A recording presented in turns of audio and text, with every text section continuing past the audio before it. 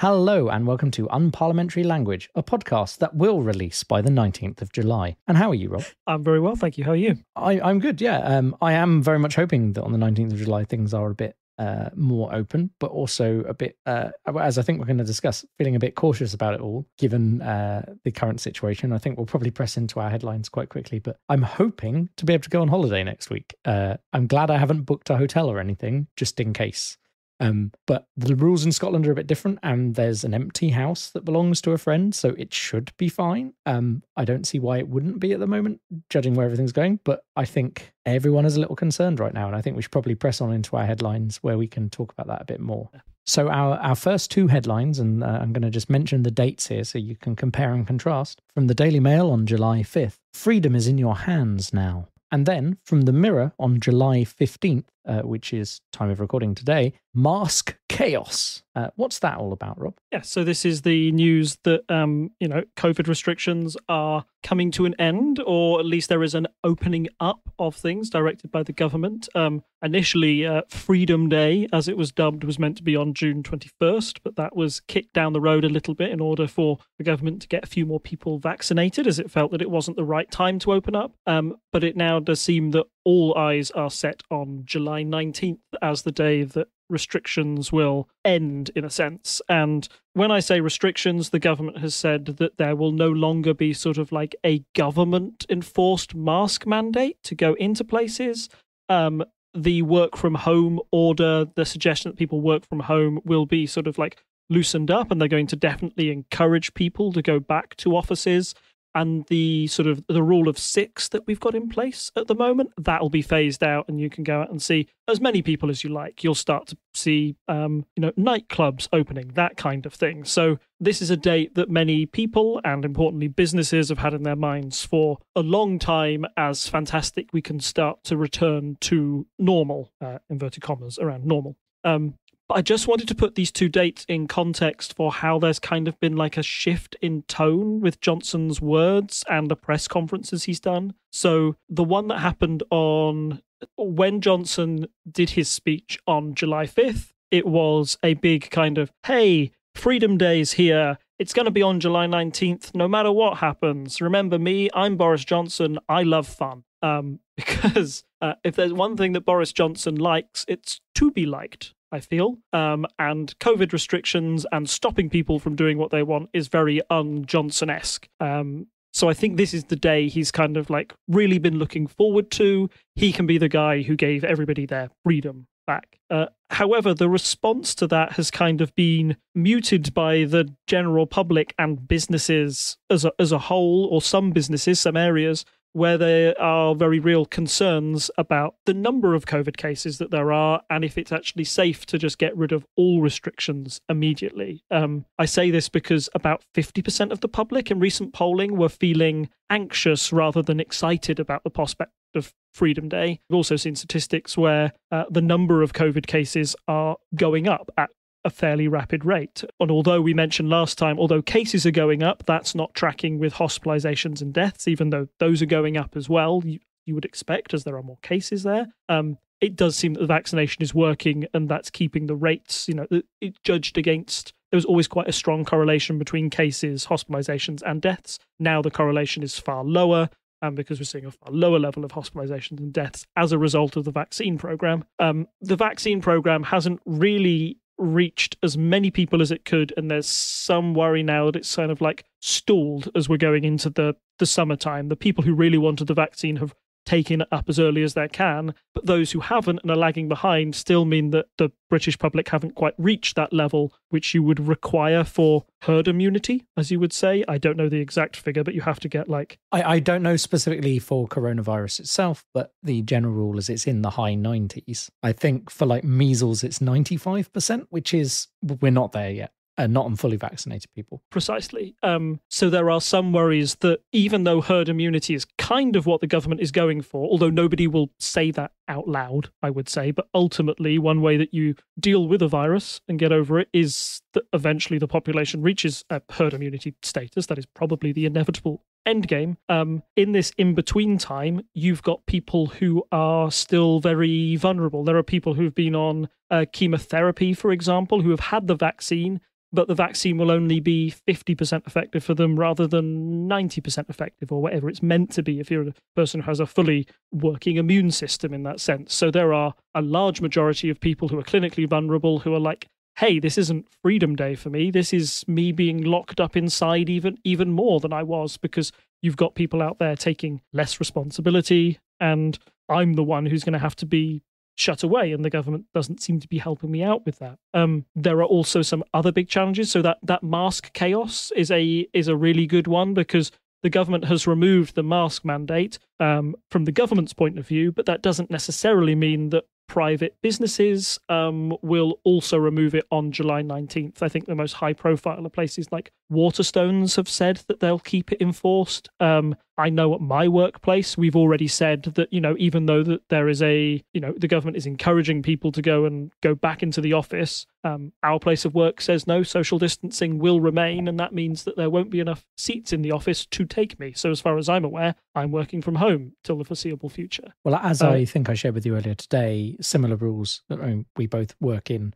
NHS buildings. Um, so it's not surprising that they wouldn't suddenly remove the restrictions uh, just because the government did. But the yeah, we we've said that not only in the NHS hospital I work in, but also at the whole university, we're not going to consider changing our rules until I think it's mid August. So I think that's going to be fairly common. Obviously, there are going to be some private companies that choose to just directly follow government advice. Um, I'm sure we can probably guess some of them uh, if we're talking high profile ones. Um, I don't want to like you know dunk on particular companies here, but I think we can probably guess a few uh, alcohol based establishments that might suddenly change their their minds on this. Um, and um, yeah, I think we, we we'll just have to wait and see. But I, I get the impression most businesses are not going to suddenly go to it. But I do think I'm slightly worried about at the moment. You can say, well, it's the law. Put put a mask on, and if someone complains, then they're like, you know, they're, they're wrong. Essentially, at the end of the day, you can you you could ask a police officer to come over and deal with that, for example, because they're technically breaking the law. Um,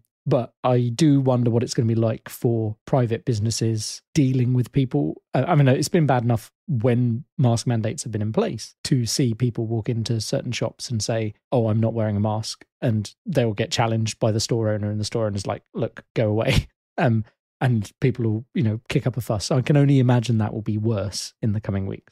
Yes, and there has been concerns from um, unions, particularly transport unions, because um, as the government has said, hey, you don't have to wear masks anymore. It's not going to be mandated by us. Some metro mayors, particularly like those in the city that tend to be Labour have said, no, but we will enforce masks on public transport in the city, for example, and we will try and have COVID enforcement officers out there to make sure people are wearing masks on public transport, which is, yeah, they're going to enforce it, but it does mean that the Conservatives aren't seen as the bad guys from the people who don't want to wear masks point of view. Um, it'll be Labour who's taking on that responsibility. And again, how do you enforce that? I mean, that's been that's been the question since the start of all of this, wasn't it? That there is is a great degree of public responsibility that needs to happen, be it mandated by the government or not. Um, but now the government is really putting the stress on its the up into the public's minds to use their best judgment um, when it comes to what they do around um,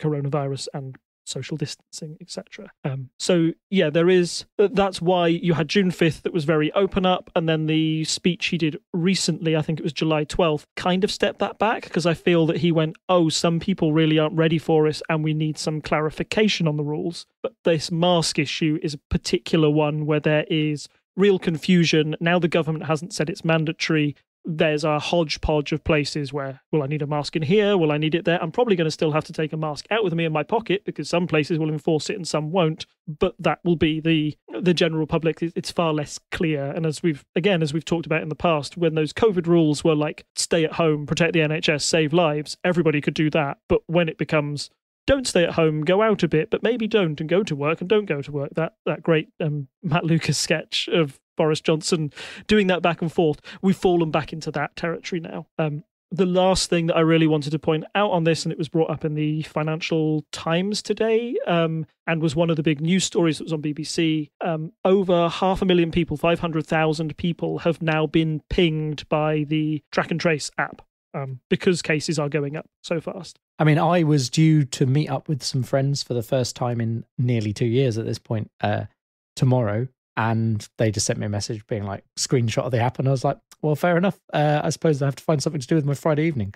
Um, but yeah, I mean, it's happened to several close friends of mine. Kind of impressed it hasn't happened to me, considering I'm in the hospital every day. But I suppose you know the thing is we're in like a separate wing uh, of the building. We're, you know, I'm not on a ward. I'm not a medical doctor, so it's a very different situation to uh, members of NHS staff. Um, so yeah, it, it, it has been apparent, I think, because I've been very fortunate, you know, in the early waves, like all of my friends basically locked themselves away as told by the government. And we, we, you know, we didn't really encounter any of that stuff. Um, and I think us being in that slightly younger age category, you know, we were also, while some of us were fortunate to get the vaccine fairly early because of our work, um, you know, it's not like we were going and meeting up as groups uh, with our friends. So there, I've seen very little of this uh, self isolating business until recently, and I think that makes you realize how big of an effect it is. I think. Yeah, and the uh, the financial times point was not only that you're like people suddenly get pinged and they can't meet up for social edu- social occasions or go to the sports game they were going to, um, but it has a big effect on the economy because you've got half a million people who have to isolate and take a week off work essentially that have to stay in their homes and that will ruin plans that will ruin schedules that will leave places understaffed. Maybe they can't take on as many customers this week because half their workforce is self-isolating. And if we're going forward and things are only going to open up more after July 19th, businesses would have been hoping that business would boom as more people are desperate to go outside. But if people are going outside and mixing more and the virus is spreading and more apps are pinging, which means more people have to stay inside anyway to self isolate, then it's kind of self defeating in that sense. You'll do as much damage to the economy by forcing everyone to self isolate as you would trying to, yeah, lock everybody away in the first place, or at least how do you balance that? So I think the government has a real challenge there, and there were questions put to Robert Jenrick today, the housing minister, who wasn't quite able to answer about if those rules would be reviewed, self isolation rules. Um, I mean, I can see them see them staying in place because those were put in place because scientifically, if you've been in contact you might have the virus. There's an incubation period for the virus. It's safer for you to stay inside so it doesn't spread. But yeah, I think there are more challenges on the horizon for this government, even if it's not around the death rate or hospitalization rate certainly the number of cases and the amount of people getting pinged, and that effect will definitely have an effect um, in the weeks and months going forward. So it'll be, yeah, interesting to see what action the government is forced into. And I, I know Johnson has said no more lockdowns after July 19th. But I don't think, well, I think any sensible person will realize that we haven't seen the entire end of COVID restrictions by any means, shape, or form. They're not all going away on July 19th. Um, and it will be interesting to see what waves of restrictions happen in the in the near to mid future. Yeah, and I think I just want to add on to that. I think it's telling that the government wording went from being there will be no uh, going back on this. It changed that wording from this is this is it. We're never going to go back to a kind of more oh well we're you know we're paying attention to what's going on kind of phrasing. And i think that does suggest that they've at least convinced because when i first heard that i was like i mean well what if the pandemic gets worse? You know what if there's some weird variant that the vaccines don't account for? There must be a system under which you can go back on it. And having politically said there's no way we're going back on it you're going to have to need to dig yourself out of that. And i think they're already laying the groundwork for the possibility of having to lockdown again probably in i would imagine late autumn if if if if we aren't able to get on top of it by then. But we'll see. We'll see so, next up, penalty curse denies England their dream from the Times, and up your game from the Metro. I think most people can probably guess what this is. this is the conflation of a few stories that I've put together. But yeah, um, first of all, football didn't come home, despite us saying it once or twice. Um, you might have heard of it around. Um, it was a valiant F by our boys, I believe I'm contractually obliged to call them. Um, yeah, it was fun. You know, like just let the football nerd out of me a little bit. It was great as being an England fan who has supported them ever since. I think I, I half remember Euro 96, but I definitely remember France 98. And having seen and expected my country to go out in the quarterfinals or the first knockout stages, to see them get to a major final was a great feeling overall. And to get so close, even though we ended up losing it in the end, um, essentially missing three penalties in the penalty shootout um, to get so far um, was a great achievement. And i think it's been it's been telling how the nation has rallied around those people particularly those three um, lads who missed their penalties: Jadon Sancho, Marcus Rashford, and uh, oh Saka. Can't remember his first name. Apologise on that one. Um, however, you know, in the past, those players might have been, you know, uh, victimised. You know, Southgate felt like, you know, our own England manager was a person who missed the penalty in 1996, and he felt that he'd had that on his back since then. Um, so to have it with these lads and for the reaction to be so positive was really good but that kind of positive reaction only happened because there was a great negative reaction on twitter as well. Um, unfortunate allegations of well not allegations but proof of racist comments being thrown at these three, abuse being thrown at them, which is, you know, totally unacceptable. And you saw uh, the government come out and say, yeah, yeah, no, racism's bad and stuff, and you shouldn't do this. Uh, however, I think that this tournament has been really interesting from a politics point of view. Like, sorry, I, I hate to read too much into this because there are a lot of people who are just enjoying the football for football's sake and they don't care about the politics side of it. But for me, this England team and what Gareth Southgate had to deal with at, at the start, there was this England football team has taken the knee. They decided they would do it since their friendlies before, and it was a point of contention uh, before a ball was even kicked before their first match with people saying that they would continue to boo Southgate's team taking the knee. They felt that it was too political and too divisive and that should stay out of football, essentially. Um, and in response, Gareth Southgate stood up and said, no, this is a decision that our players have made and actually made a terribly good um, case and argument for a pride in your country and English nationalism that wasn't based in kind of I think English and maybe British nationalism has been tied up with this kind of like Brexity view ever since 2015, 2016. There's been quite like a, a narrow view of what it's it is to be proud of your country. And I was trying to describe it earlier to, to my wife, but I think that the the past four years, is, uh, the nationalism that's been accepted, or the one that we've seen from the people in power, is rah, rah, rah, Britain's great. Don't dwell on the past. We're going to be great and we're going to make a great success of it all. Please, please, please don't mention all the bad stuff we've done. We're not bad. We're really great, actually. Um, and Southgate's view was kind of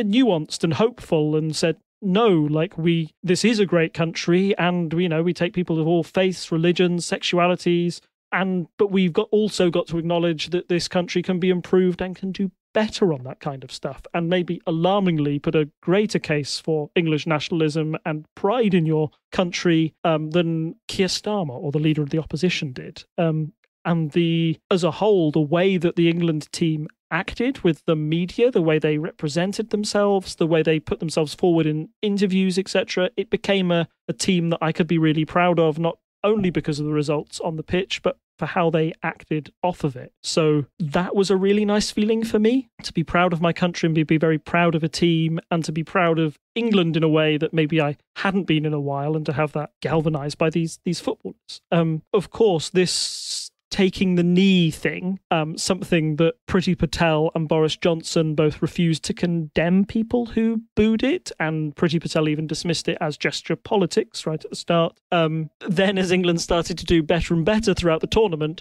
there were more pictures of Priti Patel wearing an England shirt, cheering the team on. Hooray, I've, I've always supported these boys. And there were various figures on the right who had been really anti taking the knee, who were suddenly the biggest England fans ever. And people found it disingenuous. And this kind of came to a head when uh, Priti Patel on June 12th tweeted that I am disgusted that England players who have given so much for our country this summer have been subject to vile racist abuse on social media there's no place in our country, and I back the police to hold these people responsible. Um, England defender Tyrone Mings responded and said, you don't get to stoke the fire at the beginning of the tournament by labeling our anti racism message as gesture politics and then pretend to be disgusted when the very thing we're campaigning against happens and I think it, it's perfectly put. It's very eloquently put by a member of the England football team, and does sum up that there were people against taking the knee for a variety of reasons. They felt that BLM was Marxist, but other people were just saying they're taking the knee, and Britain's not even racist. Why are they doing it? And then, right after this penalty shootout,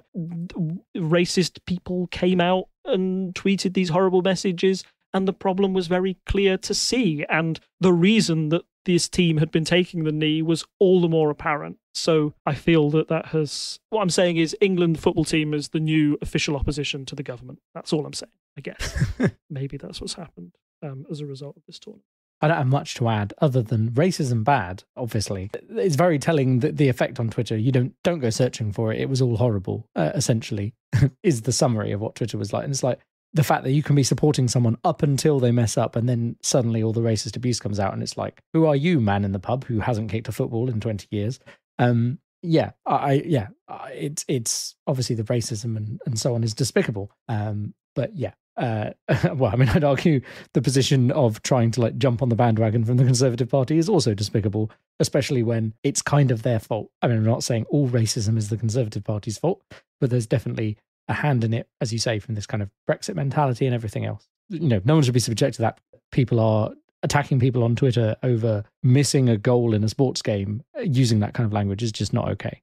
Moving on to more great things the Conservatives done. Uh, that last headline, Up Your Game, was also kind of directed at Boris Johnson and what they're doing, the Conservatives done to foreign aid. Um, so, so very quickly on this point, just that the Conservative government since the Cameron administration has been determined to have at least 0.7% of all GDP going as foreign aid out to other countries. Um, the government basically said they wanted to re- remove that restriction and and lessen it somewhat. Um, and this passed in the in the Commons, despite a rebellion of about 35 Conservative MPs, most notable among them former Prime Minister Theresa May, who was very vocal and even said in her own speech that you know she was a prime minister with a very small majority and would never have imagined that she'd have to go against her party when there was a three line whip basically that says you must vote for this. Um, she felt that she couldn't, in all good consciousness, vote for it because it was something she didn't agree with. Uh, I've got David Cameron's statement as well, who said that he felt, yes, that it was a grave mistake um, you know, that we're turning our back on the international community when it is at most need, particularly, you know, loads. It's not just us that's been affected by the COVID pandemic, even though this this will probably be in the forefront of uh, Rishi Sunak's mind, as you know, they've spent an awful lot on the COVID pandemic. Um, we need to save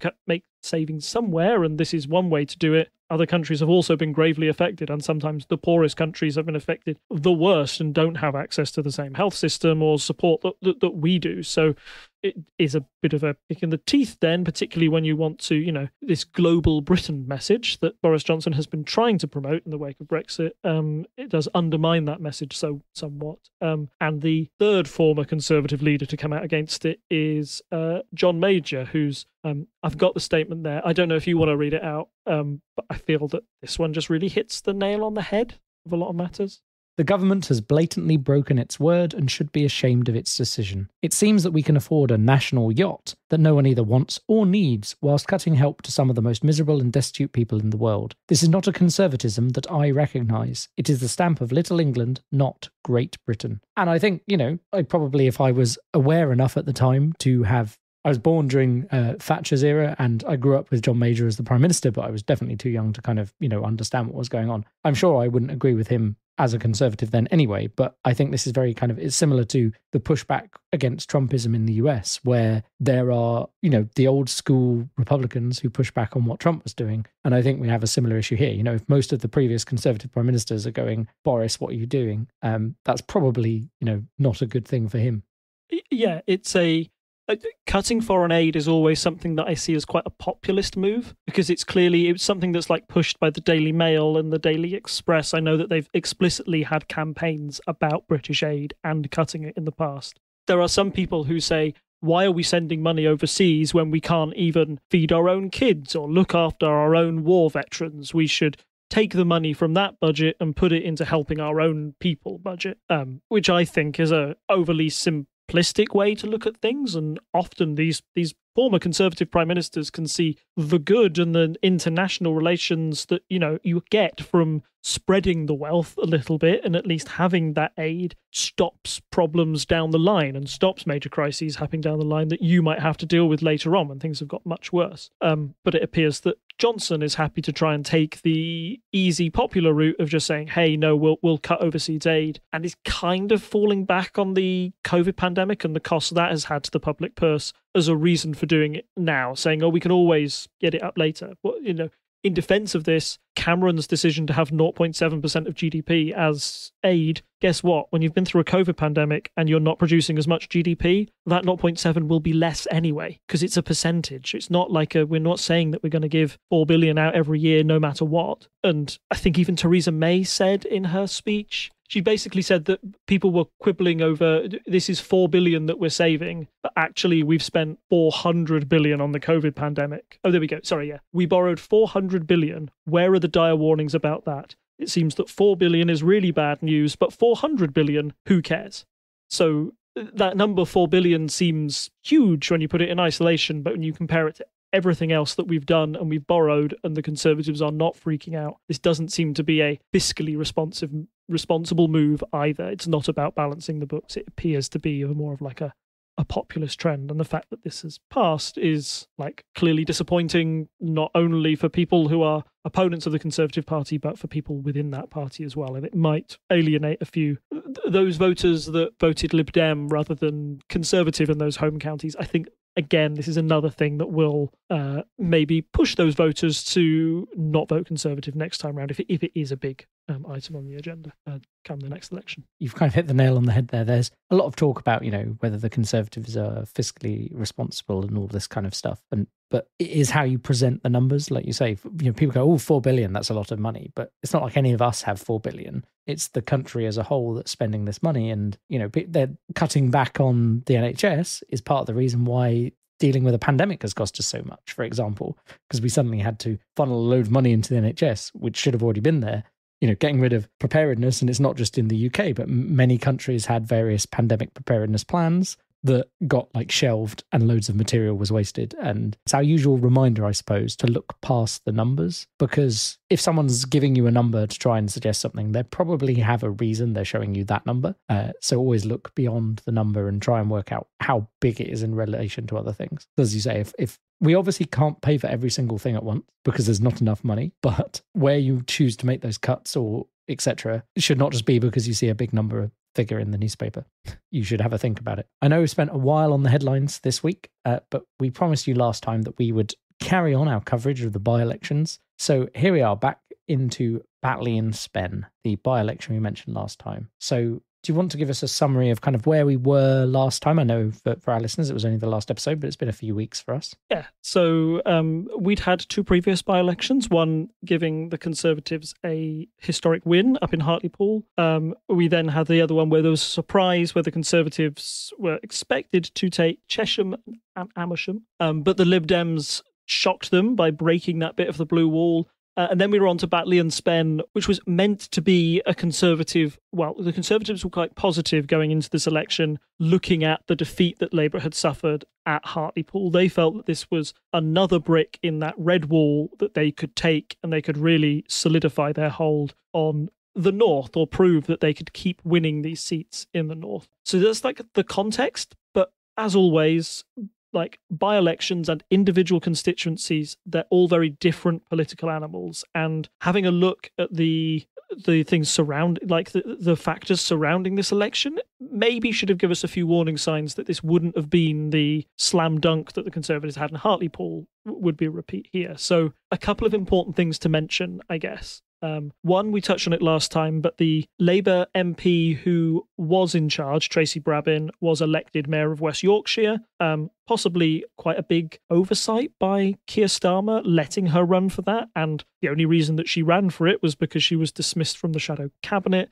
So again, that decision, this was all basically a by-election that was of Starmer's own making, perhaps, and had maybe opened the gates for a pol- potential political own goal. Um, so that's a worry. Uh, however, the candidate that he chose to replace her, Kim Leadbeater, um, was considered by quite a few people as a good candidate. She knew the area. She was also the sister of the murdered MP um, Jo Cox, who had previously represented this constituency. So she clearly had very big ties to the area. Um, so that was the Labour background. The Conservatives were coming in hoping that they could capitalise on that success in Hartlepool and also hoping that the third candidate in this race, George Galloway, would take votes away from Labour. Um, this was a constituency targeted by Galloway, particularly because there is, according to a 2001 census, You've got about 16.9% of residents there having a Pakistani heritage, and Galloway has always targeted constituencies that have a very large majority of Muslim people living there, essentially. Um, his politics and the way that he has won votes in the past was based around the Iraq War when he got success. And this time, although his platform is like quite left wing, you definitely call it more to the left wing of Keir Starmer, um, his attacks are basically ones that aim to stir up quite a lot of racial and religious hatred. It's the only way that I can describe it. Like his his attacks are not that of a traditional MP.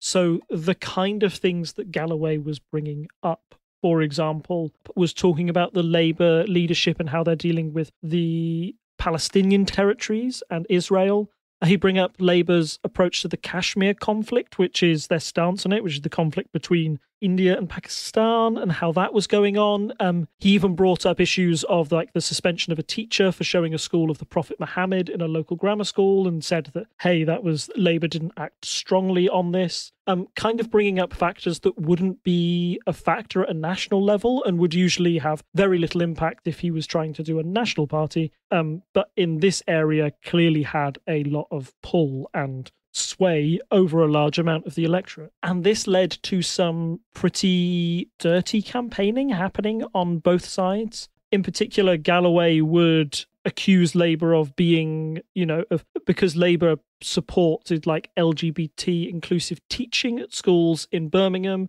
And that's something that goes against sort of like traditional Muslim beliefs. There was that conflict that was happening. And this led to a moment where uh, the Labour candidate was chased and heckled by a group of men. That video went viral and it was quite uncomfortable to see, particularly when you're thinking about what happened to that woman's sister four years ago in a campaign that was very highly charged and vicious. We don't we certainly don't look at the campaign of the EU referendum as one of being kind of like hope and soft. I, th- I think we've looked back at that as being quite like a, a dirty, nasty campaign. Um, this one had the same hallmarks the way that Labour tackled these allegations or the way that Labour tackled this front from Galloway also was brought into question. Um, so there was an official Labour Party leaflet with a photo of Boris Johnson with the Indian Prime Minister Modi. Uh, basically, the, the implication there was don't vote for the Conservatives, they're too close to India. You should vote for Labour, who's always supported your Muslim beliefs, which is kind of,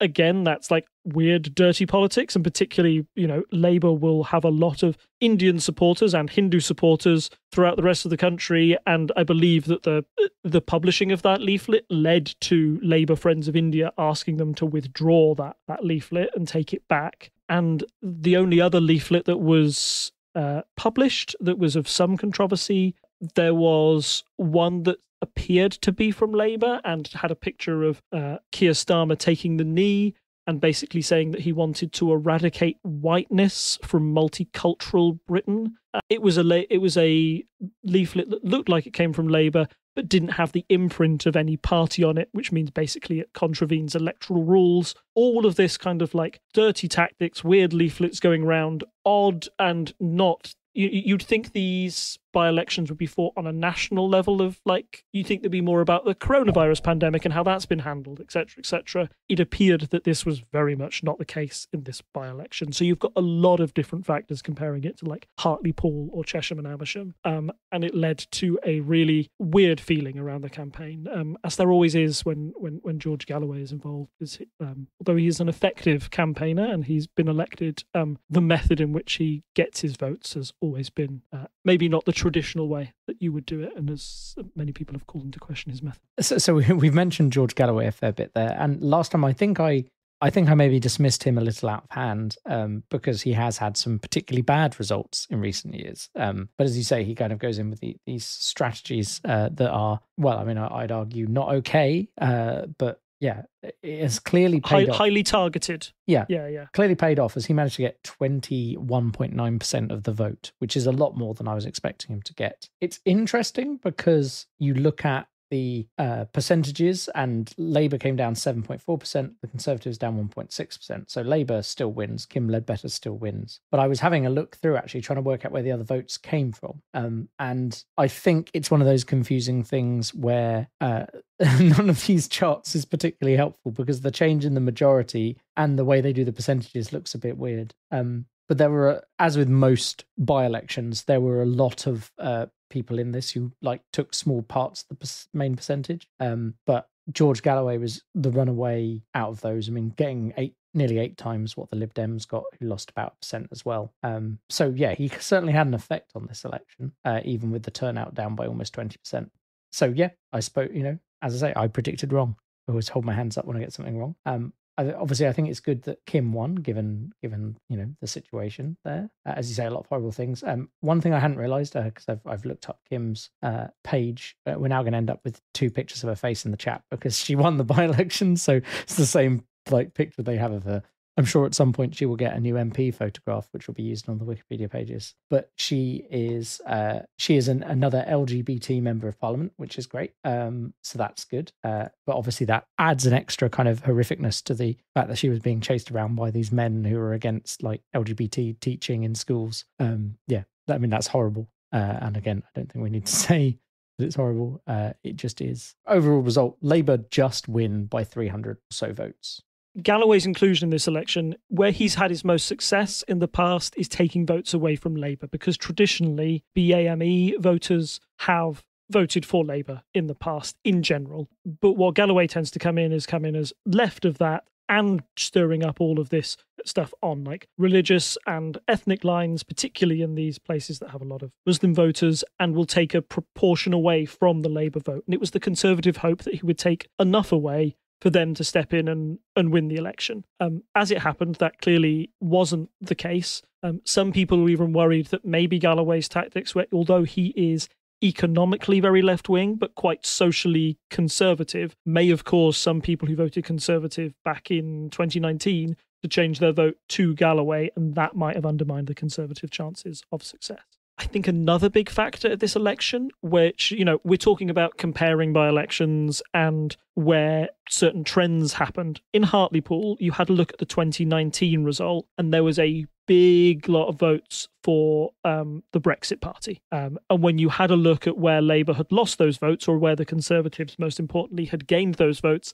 essentially 80 to 90% of those Brexit Party voters moved over to the Conservative Party. And that was enough to bump them way up over Labour, who lost votes in the 2021 election. If you have a look at the 2019 and previous result, the Brexit Party only picked up around about 1,678 votes. So, not enough for the Conservatives to make a significant gain. Essentially, if you added those votes to the Conservatives' total last election, they still would have lost in Batley and Spen. So they needed this Galloway factor and hoped that that would take enough votes away from Labour to help them win it. As it turned out, it wasn't enough to push them over the line. Um, the other thing that we haven't mentioned that might have undermined the Conservatives' chance of a victory here, and you, you kind of see it in the polling of 2021, and I can't remember the exact date that our last episode went out, but uh, if you think back to our last episode, we just recorded it, we sat down and went, oh, that's good. Really hope no kind of like big government scandal happens between the time that we actually publish this episode. Um, and then we all had that terrible moment where we wanted to rip our eyes out because the health secretary, Matt Hancock, was caught on camera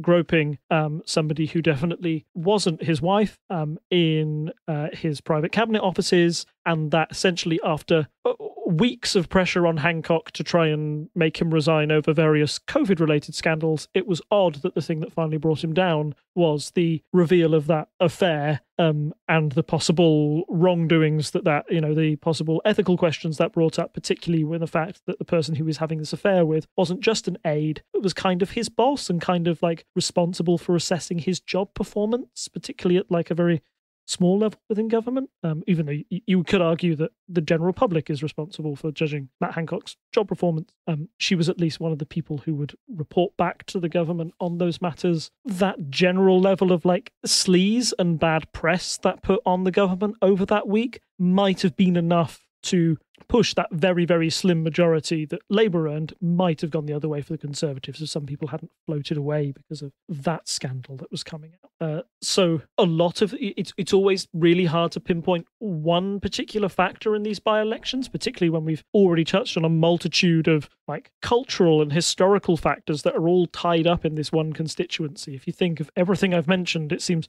like a lot has happened here compared to my own one. I I, I feel I you know I feel fairly confident in, in saying that. Um, the fact that Labour were able to win and squeak this one out as a win, I think, came as a as a shock to maybe both political commentators and the party itself. Uh, there had been a lot of talk before this, particularly from one prominent Guardian journalist, um, Owen Jones, who basically came out and said if Keir Starmer loses Batley and Spen, he should resign because it's clear that Labour can't win in the north anymore. Um, and the fact that they did kind of took the wind out of everyone's. Everybody was kind of preparing to run those pieces on. Oh, Keir Starmer's in trouble. Should he resign? In fact, that Labour were able to win it means that those stories have kind of been put on the back burner. But the fact that they still had a very much reduced number of votes in that constituency, the fact that it was so narrow, I don't think I think Labour are cautious of calling this as a massive victory for them either. I think the main sense in that constituency is just one of relief relief that it's over, relief that they got that candidate in. Um, and for the Conservatives, maybe a little bit of concern that they weren't able to capitalise on the success that they'd had in the North. And I think this is a big, a big warning sign to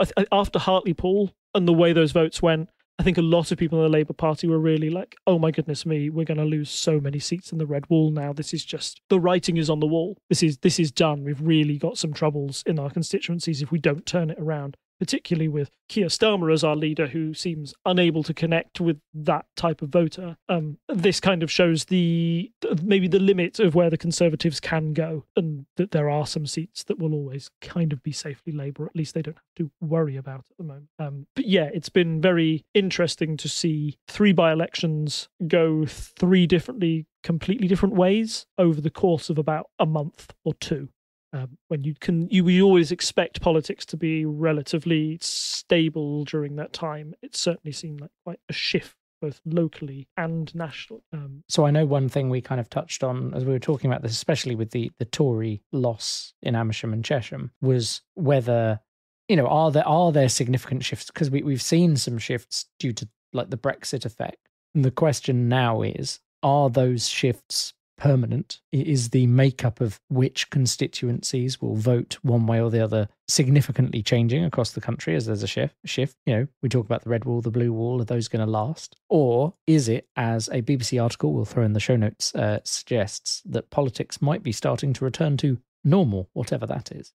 um, I think, yeah, I'm I'm going to agree with the BBC article. Kind of uh, those those Brexit shifts that happened in Hartlepool, I think should still be a massive worry for Labour. Um, anywhere whether anywhere they have a look at an MP that got in because the Brexit Party took a significant amount of votes away from the Conservatives in 2019, um, they should be worried about those voters having now gone over to the Conservative Party because I think, as Anna Soubry said the other day, a former Conservative MP she said the Conservative Party is now the Brexit Party, basically. She believes that they have moved right enough, or that Johnson's populism is at that stage where they very much appeal to Brexit Party voters now. Um, so that should still be a worry for Labour. Uh, however, that Hartlepool election was kind of in a weird place where vaccine rollout was going well. We were happy about that. There wasn't, the government seemed in like a weirdly good place. And it's been it's been very tough for Starmer during COVID times because I think people have people have underestimated the capacity for the average voter to be like, hey, I know that our government got a lot of things wrong during this pandemic. PPE for the, the amount of PPE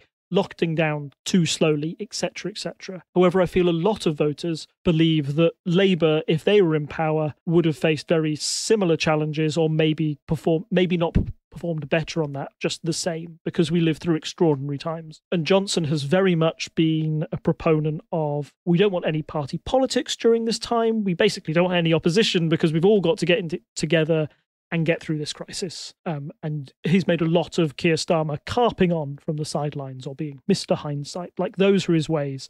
and he's trying to portray Labour as trying to make a fuss when actually we should just get our head down, get on with it, and get through this crisis. Um, so that's all good for Johnson while COVID is still very much a thing and happening. Uh, and although I know we started the start of this um, podcast by saying, hey, COVID isn't going anywhere for a while, be careful. Um, but certainly as things start to get towards more of like a normality where COVID isn't dominating the main headlines or isn't becoming um, the main story. Much like, hey, I think it's fair to say Brexit isn't the main story anymore. Um, we've definitely the the, politi- the political conversation has moved away from that issue a lot. Uh, the reason Brexit Party voters are going over to the Conservatives, I think, is more of like a, a cultural thing now rather than actually on the issue of Brexit. But maybe we can get to that issue in more depth later. Um, but as things as COVID starts to wind down, then people will start looking at politics in the traditional political light. The vaccine bounce won't matter for Johnson in the same way. They'll start to judge him on things like international aid for example, or how he performs at the G20. And um, he did a speech today on his levelling up agenda, which I haven't listened to in full, but all the commentary I heard on it from both neutral and supportive of the Conservatives and not so supportive seemed to suggest that he had um, nothing to say, but spent a lot of time saying it, um, which is which is worrying for the Conservatives. If they've got these big flagship policies that actually don't come to anything, voters will start to notice, and voters will start to go into their traditional like lines. Essentially, those those Labour red wall seats might become stronger red wall seats because they're less worried about those COVID things going on and less wanting to reward the government for their efforts through that. They might fall back into the traditional politics. So, yes, I think three by elections all spread out. I think the Conservative victory came at the perfect time for the Conservatives, where they were in the polls. And then the next two have kind of shown where ah, there's still very much a weakness to being the party in power for 11 years whilst you're in a by election. Um, that Hartlepool result made me feel like we were going to have conservative governments for the next 10 years that the labour party couldn't recover from this and oh my goodness where are the where are labour going to get their next win? I just couldn't see it happening. After batley and spen it's kind of made me refocus and go ah no you can't read you can't read too much into by-elections. After spending three episodes on them here's my conclusion you can't read too much into by elections. It's all very much down to like individual factors, but it does kind of breathe. It shows this narrative of uh, the Conservatives being at their highest point, but clearly very wary, and they can't just glide on this success for ages. Um, and in fact, quite quickly, maybe by the end of the year, but certainly by the time the next election rolls around, the issues that we're discussing today today around COVID will have gone, but the old traditional divides will very much remain. And it's uh, if the Conservatives can live past that time of Brexit not being on Brexit not being a major factor and COVID not being a major factor, what else do they have to that bow? Can they still maintain that support, or, or will it gradually fade over time? I suppose, kind of following on from that as a prediction from you to round out the podcast, do you feel like as those things are becoming history as opposed to current topics like if we're predicting ahead again to future elections how do you feel the general impression of the public? Because we said there was like a covid bounce right? And you know brexit has obviously helped the conservatives as well in previous elections so do, do you think that's a thing where the effect will just die off? Or do you think it's something where, you know, the people who are already voting for them based on those things are going to say, well, they did well. So that's a good track record when, when it comes to the next election? Or is it just way too far in the future to predict? Um, oh, it's probably way too far in the future to predict. And I would be a fool to do so. But here we go. um, that's why I like asking these questions. no, no, no, it's good. Um, I think I think a lot of it comes down to their leader and how Johnson reacts. So you look at, I looked at some polls that came out in the past two days, and one showed like quite a big dip in the Conservatives, and the majority of those people moving to like the Lib Dems or Green um, instead. And another one showed the Conservatives as basically holding their current polling of, of 43%. And 43% would definitely be enough to win them the next election. The reason the Conservatives can go into the next election feeling quite strongly about it is that Labour are particularly in the wilderness at the moment. Um, Keir Starmer has found it very difficult to be in opposition throughout this crisis. And whereas Jeremy Corbyn was divisive amongst a large amount of the population, he at least had some enthusiasm behind him. Keir Starmer seems to very much being suffering from nobody appears to like him very much, both on the left or the right or the centre of his party. Uh, however, Labour also has nobody who is currently an MP that they can turn to um, to fill that leadership void, uh, essentially. So the Conservatives can kind of maybe feel safe in that aspect. However, I think it seems dumb to, to say this, but I, I feel that the points that were raised by like the England footballers and Gary Neville around like the feeling that I had after the Euros and the points that were put across by those people who were very, you know, that the England footballers are very popular amongst a large amount of the population and they were really able to highlight some of the hypocrisy at the top levels of government when pitted against things like Johnson's very good at scoring own goals as well, and the more focus is put on Johnson as uh, being a liability for his party rather than an asset, that's the one thing that might change. Like, I think the Conservatives without Boris Johnson might stand a better chance of winning the next election rather than with him. Um, although he was very much seen as an electoral success in 2019, I'm very curious to see if he can take that on to 2024 or if his brand will be forever damaged by his time in, in charge. So, yeah, so I feel the longer that Johnson is in charge and the more he's scrutinized, the more his kind of appeal will die down. It's comparisons have been made to Trump because of his appearance and because of their populism. And I feel Trump had a similar issue when he came into like running for his second term. Um, people voted for Trump because he was an unknown factor and popular, and hey, he might do something different. And I feel that was kind of a factor behind the Johnson election as well. People voted for him thinking, hey, is that fun bloke off the telly? Yeah, sure, I'll I'll vote for him. He might shake things up. But the more he's in charge and the more eyes you get on him and the more things that he fails to deliver on or promise on, it makes it very difficult for him to get re-elected on that same platform when he's been the one in charge and, and nothing has changed. Um, so if Labour were to find another leader by 2024 and Johnson was still in charge, I think that's a different election entirely. I think Johnson versus Starmer, the Conservatives win. Johnson versus another Labour person, I'll say Andy Burnham because he's the flavour of the month, but very much should be reminded he is not an MP. He's a Metro Mayor. There is no um, there are no by elections in which he can get voted into at the moment, so he can become an MP, so he cannot be the leader of that party. Um, but maybe Johnson against a more popular Labour leader, it's a very different question. Um, so there we go. I've, I've answered your question by not answering it and giving you both possible both possible outcomes. But I feel those are the, like those are, those are the main defining factors behind it. No, no, I understand that, and I think uh, you know it's always hard to predict anything, and we all know how polls narrow just before an election, etc. So giving any kind of prediction, but I, I think it is interesting because you know last time we spoke, we were all like, well, this is the new normal of our politics, and so answering that question of whether this is a new status quo or whether things could shift, I think was important. Um, so as always, Rob, thank you for your insight uh, and coming and telling me a lot more about politics than I personally know. Um, as I always say, you can find us on all of the socials at Unparl Podcast or forward slash R forward slash Unparliamentary if you're on Reddit, um, and as Unparliamentary Language on Facebook.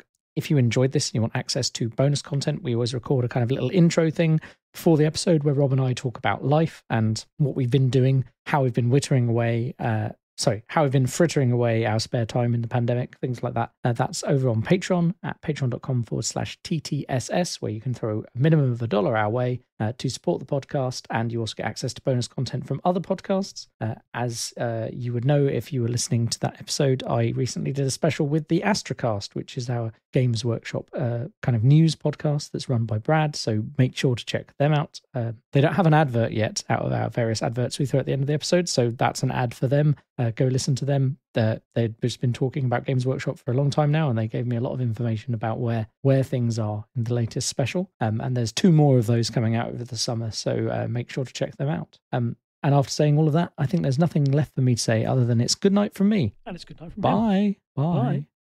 Bye. Bye. Bye. Bye. Bye.